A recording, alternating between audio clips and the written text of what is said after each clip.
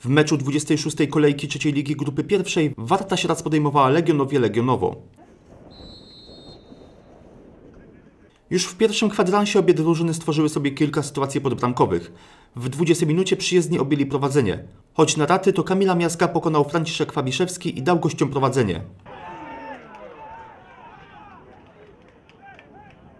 20 minuta spotkania i mamy pierwszą bramkę dla drużyny gości. Dwie minuty później był już remis. Damian Ślesicki zagrał długą piłkę do Bartłomieja Maćczaka, który wyszedł sam na sam i pewnym strzałem pokonał bramkarza gości.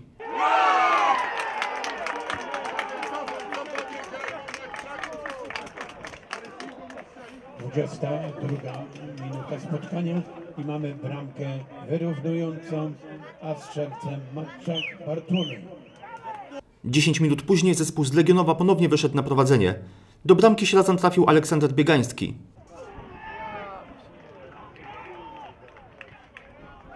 I mamy bramkę dla drużyny gości, a bramkę strzelił Biegański Aleksander. Do przerwy biało-zieloni przegrywali 1 do 2. Na drugą połowę Warta wyszła z wyraźną determinacją do wyrównania, od początku tworząc sobie sytuację. W 69 minucie z najbliższej odległości bramkę strzelił Bartłomiej Maćczak. To drugi gol tego zawodnika w spotkaniu. 69 minuta spotkania. Mamy bramkę wyrównującą, a strzelcem jest Matczak Bartłomiej. W końcówce groźniejsi byli goście, oddając trzy niebezpieczne strzały z zapola karnego, jednak wynik się nie zmienił i Warta zremisowała z Legionowią 2 do 2.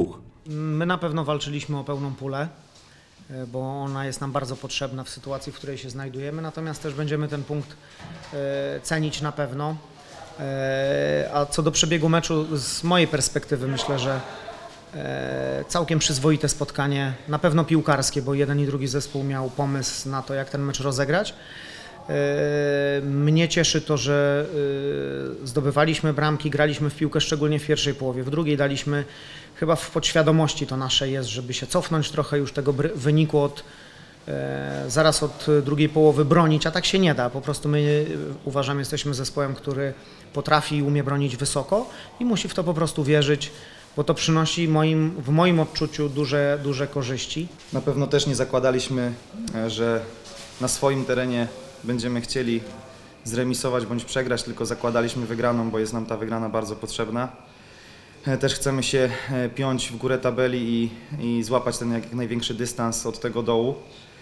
E, A propos meczu, pierwsza połowa na pewno przez nas przespana.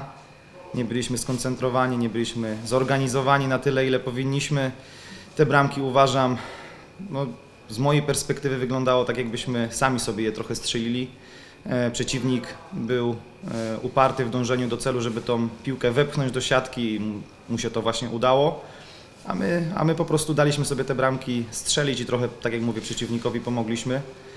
Zespół wyszedł na drugą połowę zmobilizowany, zdeterminowany, żeby udowodnić sobie, że jesteśmy w stanie ten mecz wygrać. Myślę, że dążyliśmy do tego bardzo skrupulatnie w drugiej połowie.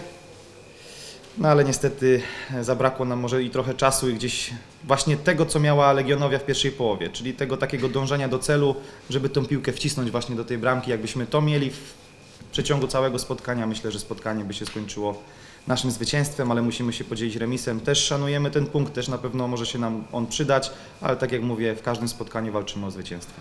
Po 26 meczach Warta ma na koncie 29 punktów i zajmuje 14 miejsce w tabeli. Przed biało-zielonymi wyjazd do Białego Stoku na mecz z rezerwami Jagiellonii. Kolejny mecz na stadionie Mocy odbędzie się w piątek 3 maja o godzinie 17. Do Śradza przyjedzie GKS Bełchatów.